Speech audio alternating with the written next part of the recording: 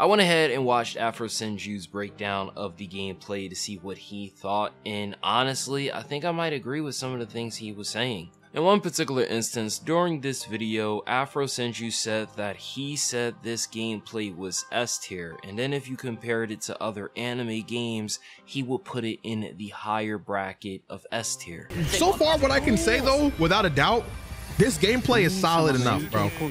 Like if you compare this on an anime game standard, this is like S tier. Any other game standard, that's a conversation. Afro Senju even said the thing that I swear I said about Sparking Zero where, bro, three things I need. Good online, spectator mode, tournament mode, endless mode right? Sparking Zero doesn't even have endless mode. Just need game modes now. If you can please give me an endless spectator, some type of tournament mode, a ranking system where you can view and save your replays. Is this too much to ask? And then anything on top of that, you got yourself a community. He does state that the bar for anime games is so low, as crazy as it sounds, that this is just above that bar, but it's so low. Now he says that this game trumps the last two years of anime games, but the bar for anime games is so deep in hell right now that I like, bro, like just this alone, just looking at this alone, this this this trumps the last two years we've gotten, I think, bro. Uh, well, that's easy. That's very easy. I would even go ahead and say this trumped the last five to eight years of anime games with a few exceptions. Anime games have been freaking bad since 2018.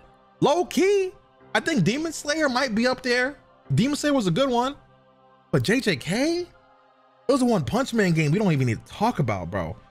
what else, bro? There was a, there, bro, uh, I love connections, but bro, that storm, I'm tired. Are y'all got to be tired too? After FighterZ came out, we've had some pretty bad anime games. And this is just in comparison. We're talking about Black Clover, the My Hero One's Justice series, Shinobi Striker, Jump Force, One Punch Man, a hero nobody knows, One Piece Pirate Warriors 4, not, One Piece was fire. One's Justice 2, Kakarot, another good one, but to me it's only a game that you could play one time, so in a way, I don't consider that great. Ultra Rumble, Dragon Ball of the Breakers, Hinokami Chronicles, Kill la Kill IF, but that didn't take off. I forgot about JJK Cursed Clash, yeah. And then there was also Connections, but Connections came out in a state that was freaking bad. There was even a Fairy Tail game that came out in 2020, and it's getting a sequel, but it again had the same issue as Kakarot.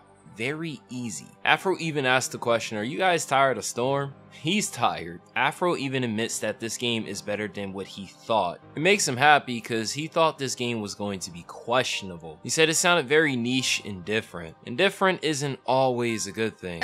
This is this is better than I thought this was going to be. And that makes me so happy I thought this was gonna be kind of like questionable. I really did, honestly.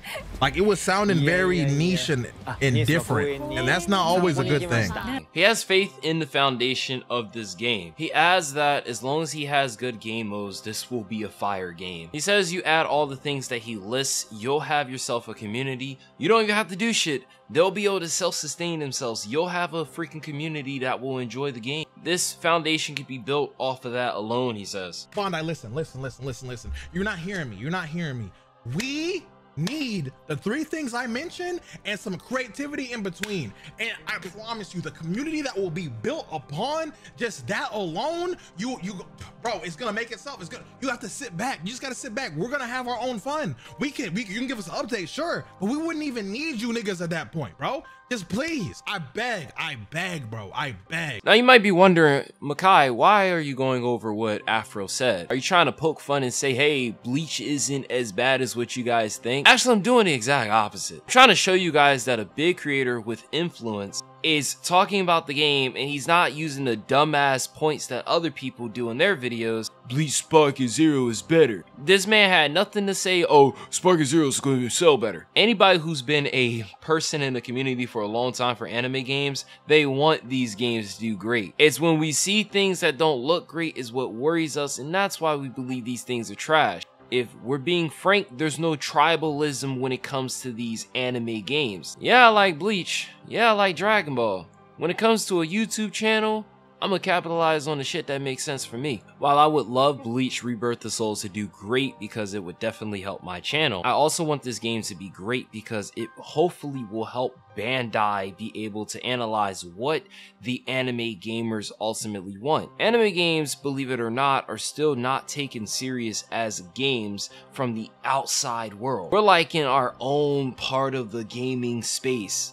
There was even a time back in the early mid 2000s that G4 TV had this one dude named Adam Sessler who used to poke fun at anime games in all the reviews that he did. To put it straight, Adam Sessler and Morgan Webb had this hate boner when it came for anime games. Oftentimes in the reviews, they would poke fun at anime fans. Yes, nothing makes time drag like a Dragon Ball Z game. And they would say some pretty cringe and evil like stuff towards the fans if you thought anime games were bad now, anime games were terrible back then. We still live in this point where anime games are still hopefully getting slowly, slowly, but better. But each time we think the anime games are going to get better, it's like Bandai goes a little backwards before going forward. Case in point with the Budokai Tenkaichi series, we thought they had a good idea going on, and then after that, we get the Raging Blast series, and then they do the Ultimate Tenkaichi and you're just thinking like, what, what's wrong with this company? So yes, when it comes to these anime games, we want them to do better, but when we hear comments from these guys like this, it really makes you wonder, do people still feel this way, what, like 17 years later? about anime games? See, if you buy crap like GT Transformation, developers will just keep making subpar licensed games. So yeah, I, I want Bleach Rebirth the Souls to do great. And if Afro is speaking about it in a good way, hopefully it gets the people in his community to give it more of a chance versus poking fun and just saying, oh, well, Spark Zero's better. Bleach Rebirth the Soul seems promising, and hopefully when we get our hands on this game, we definitely can show the world that there's more complexity to it than meets the eye. Even Afro Senju agrees that this game is S tier when it comes to the anime games. I'm glad, I'm glad this game is looking very, very promising. And let me know what you guys think down below. I think we actually got a very solid and fucking awesome Bleach game on the horizon. So after Dragon Ball Sparking, we got something to look forward to. But what do you think? You think I'm missing? No, Afro, I don't think you're missing. In fact, I think you might be spitting. Now, I don't want to sound like a fanboy or a D-writer, but he has a point. Ooh, Hopefully, that's the same thought process when the game comes out, but we'll see. Until then, I am Makai Saiyan What yo? And I'll catch you guys in the next one.